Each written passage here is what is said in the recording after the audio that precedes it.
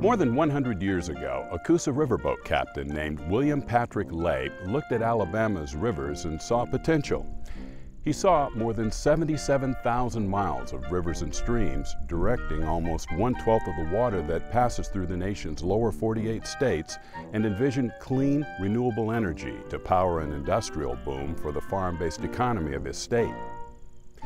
In 1904, Captain Lay founded Alabama Power to harness this potential.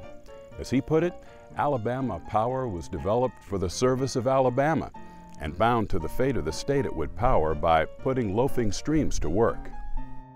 Lay's dream led to the creation of the company's first hydroelectric facility in 1912, named Lay Dam in honor of the company's founder and was followed by 13 hydro facilities developed during the next six decades by Alabama power leaders following in Lay's footsteps of creating industrial infrastructure across Alabama's agricultural landscape.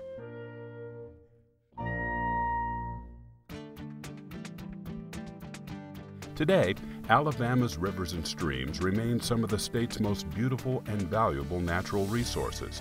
Because of these sprawling resources, our state ranks sixth in the nation for net renewable generation.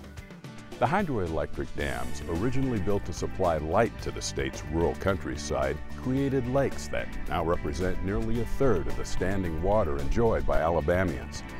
And with more species per square mile than any state except Florida, they provide crucial habitat for a vast amount of state wildlife.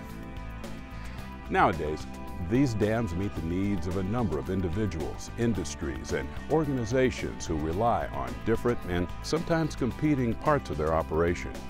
As part of Alabama Power's license to operate these facilities to provide clean energy, the company considers a variety of needs and interests affected by these reservoirs and their operations.